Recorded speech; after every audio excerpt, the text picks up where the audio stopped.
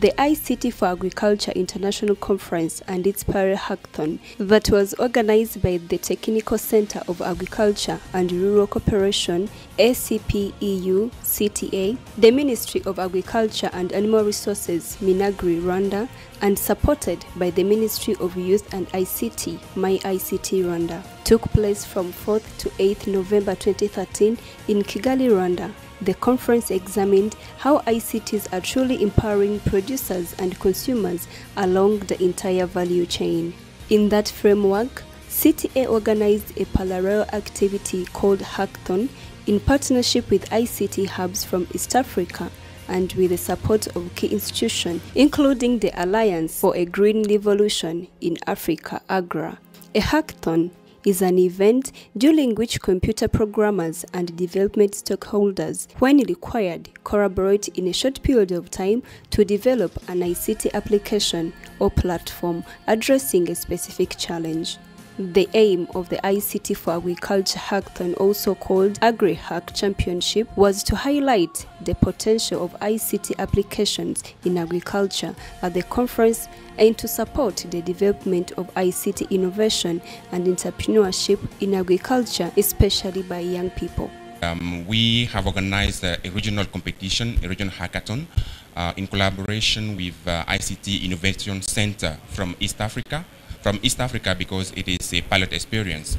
So um, we have asked those uh, ICT innovation centers to organize national selection events. And after that, the winners of the hackathon have been now uh, invited to Kigali. And here we are doing the finals. MLab East from Kenya was the technical manager of the hackathon. The winning teams from each hubs were hosted in Kigali by KLab at Telecom House. During the finals of AgriHack Championship in Kigali, all applications were fine-tuned. National teams received advices from mentors, including ICT agribusiness entrepreneurs such as Mark Davies, CEO from Esoko in Ghana. They also received training on business models, how to pitch before an investor. On the last day of the conference, the teams were required to pitch in front of the expert judges and the public. After the presentation and exchange with teams, the jury made to decide on the regional winners who will be announced at the closing ceremony of the conference.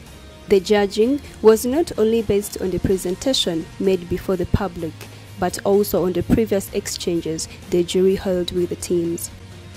The closing ceremony was held at Serena Hotel, where the evening began with the colorful entertainment provided by the dance troupe Inganzo Ngari.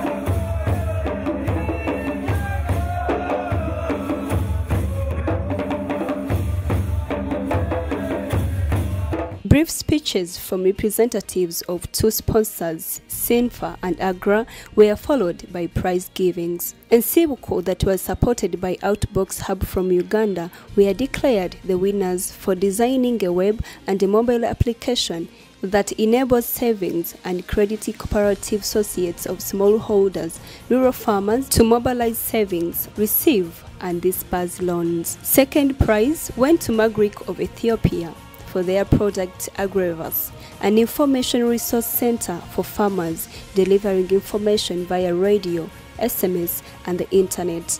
The team was supported by the hub iceaddis. Third prize was awarded to the all-women group Agrinfo from Tanzania that developed the Agrinfo web-based and mobile graphic information system platform for mapping farms and lands.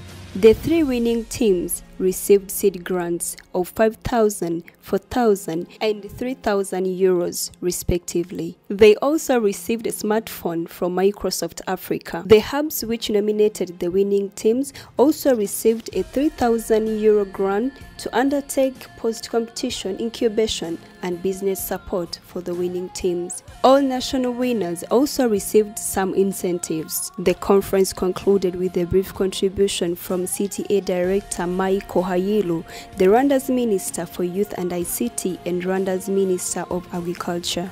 One thing that CTA prides itself is in bringing together different stakeholders to focus on the issues of agricultural rural development for smallholder farmers. I think this conference this week is a testimony that uh, we're able to attract such a diverse group of people who are really committed to make a difference. And we really appreciate that you gave us the opportunity to do this.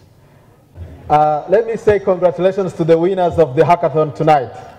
Well done. You've shown us that with hard work, smartness, commitment, determination, perseverance, purpose, you can overcome the biggest challenge.